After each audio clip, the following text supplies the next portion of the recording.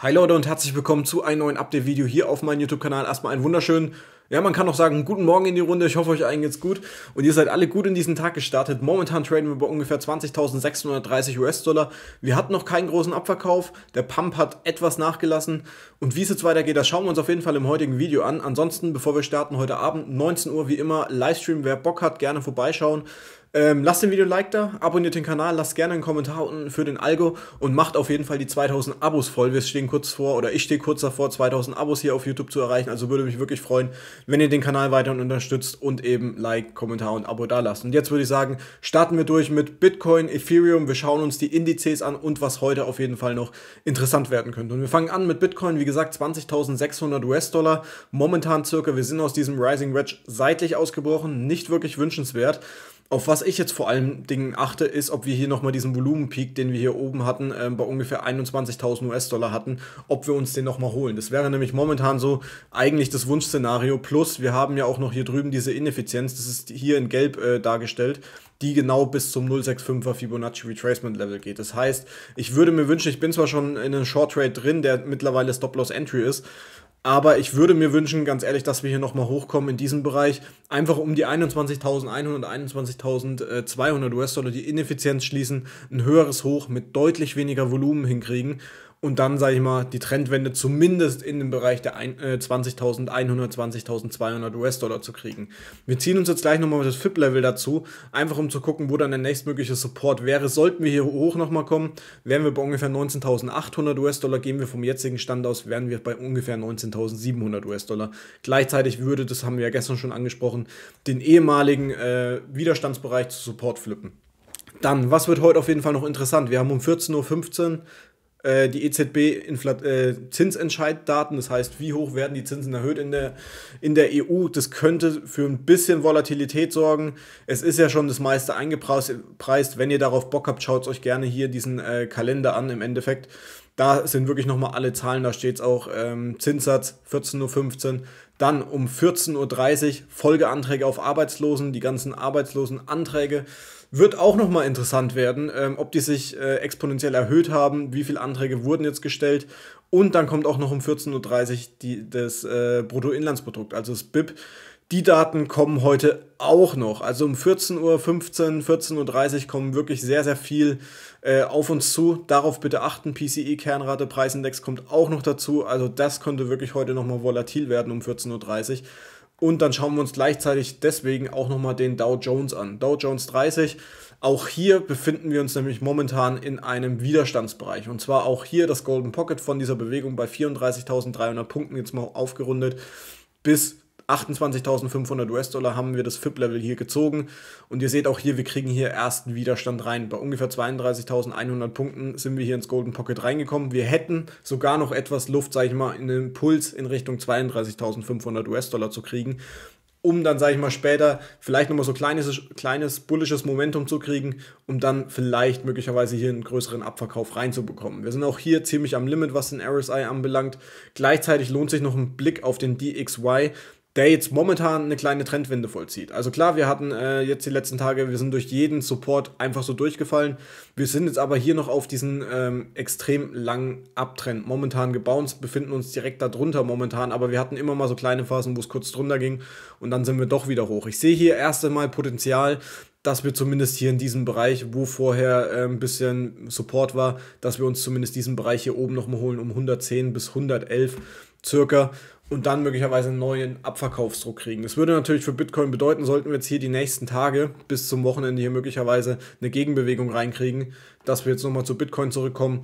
Erst, wie, wie wir es gerade im Endeffekt bei Dow Jones hatten, wir holen uns hier die 21.200, kriegen dann die Trendwende und dann möglicherweise Richtung Wochenende, dass wir uns diesen Candle hier bis ungefähr 19.300, 19.400 auf jeden Fall nochmal holen. Hier sind auch ein paar Vector-Candles, die könnten wir uns auf jeden Fall dann im, sag ich mal, jetzt in ganzen Wochensicht auf jeden Fall noch holen. Und es wäre auch, sag ich mal, meines Erachtens nach das bullischste Szenario. Wir gehen hier runter, testen nochmal diesen Bereich und starten dann möglicherweise nächste Woche, sollten wir hier natürlich Support finden, bullish in die neue Woche und versuchen vielleicht wirklich hier diesen Bereich um 22.000 bis 23.000 US-Dollar nochmal anzutesten. Weil wir hier oben eben auch nochmal eine kleine Ineffizienz haben, sieht man hier oben ganz gut 22.000 US-Dollar genau. Das behalte ich jetzt heute mal im Auge. Also 14 Uhr bis 15 Uhr könnte ordentlich Volatilität reinkommen. Behaltet es auf jeden Fall im Auge für mögliche Trades. Momentan, wie gesagt, ich bin erstmal short gerichtet bei Bitcoin und bei Ethereum momentan. Und wenn wir jetzt schon bei Ethereum sind, sprechen wir das auch an. Auch hier Rising Wedge auf dem 4-Stunden-Chart sieht es gammelig aus. Wir gehen mal hier ganz kurz in den 1-Stunden-Chart rein.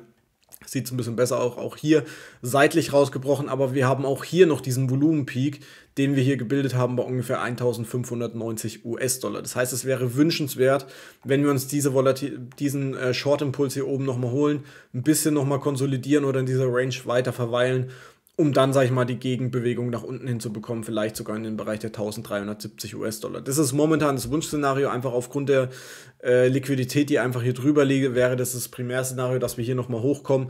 Ich sehe momentan zumindest noch nicht die 1670 US-Dollar, aber warum ist es interessant? Wir haben einerseits hier oben nochmal unseren äh, äh, Monthly Pivot R 1 hier oben noch rumliegen bei 1670. Wir haben hier oben noch eine Ineffizienz rumliegen, die natürlich auch noch interessant wird.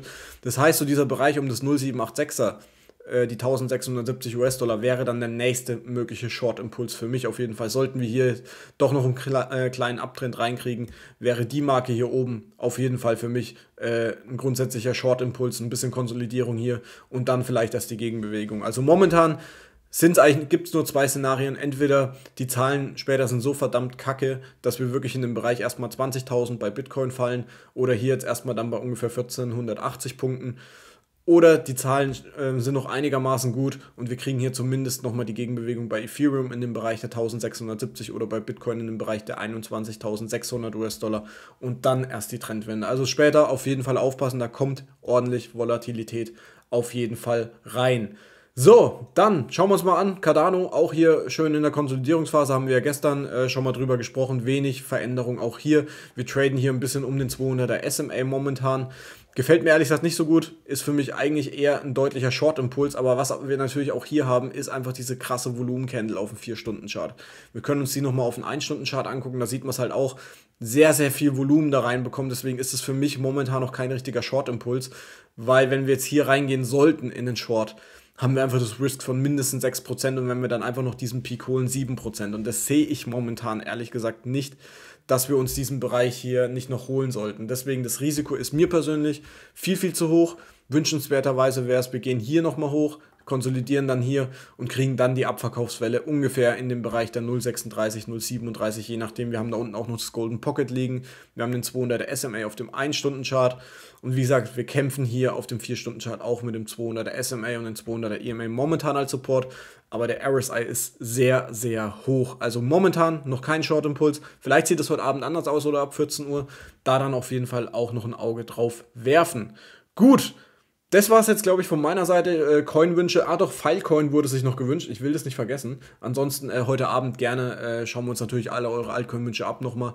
Ähm, Im Endeffekt hier haben wir das gleiche Spiel. Auch diese, äh, diese krasse Peak-Candle momentan noch, die aber schon gefüllt wurde, sage ich mal, hier oben mit Liquidität. Also hier würde ich jetzt nicht mehr unbedingt warten, dass wir hier nochmal diesen Impuls kriegen.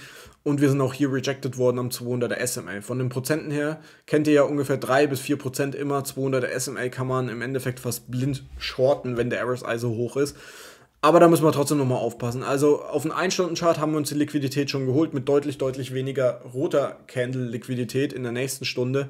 Aber 4-Stunden-Chart könnte nochmal interessant werden, dass wir vielleicht doch nochmal möglicherweise hochkommen und dann auch hier zumindest mal in den Bereich der 5,04 Dollar zurückfallen. Auch hier mal ganz kurz der Blick mit dem Fibonacci Retracement Level, ob das ungefähr passen würde. Da wären wir so bei ungefähr 5,13. Aber hier unten, diese Candle sieht schon sehr, sehr verdächtig aus, einfach um diesen ganzen Pump wiederum zu füllen. Dann korrigieren wir das nochmal ganz kurz, äh, ob hier auch ein mögliches Rising Wedge. Also wir sehen hier auf jeden Fall die höheren Hochs im Chart mit einer Bearish Divergence auf dem 1-Stunden-Chart. Rising Wedge eher nicht eher so ein Rising Broadening Wedge. Aber wie gesagt, mit Pattern wäre ich immer ein bisschen vorsichtig, wenn dann, dass wir hier einfach nochmal hochkommen, Doppeltop bilden und dann die Trendwende nach unten hin fortsetzen. Gut, das war's von den Charts. Gucken wir uns noch ganz kurz die News an. FTE FTX-Chef kündigt Entschädigung für Opfer von Phishing-Angriffen an. Ja, ich weiß nicht, wer bei euch FTX unterwegs ist. Gerne mal den Artikel durchlesen, wenn ihr da irgendwie betroffen worden sein solltet oder so. Schaut es euch gerne an. Ansonsten hören wir uns heute Abend um 19 Uhr, wie immer, auf meinem Kanal mit Livestream. Wenn ihr Bock habt, irgendwelche Altcoin-Wünsche, gerne unten in die Kommentare reinschreiben. Lasst ein Video ein Like da, abonniert den Kanal, damit wir die 2000 Abos voll machen, würde ich mich drüber freuen. Ansonsten hören wir uns dann heute Abend bzw. morgen früh wieder. Bis dahin, ciao, ciao und wie immer, stay crypto.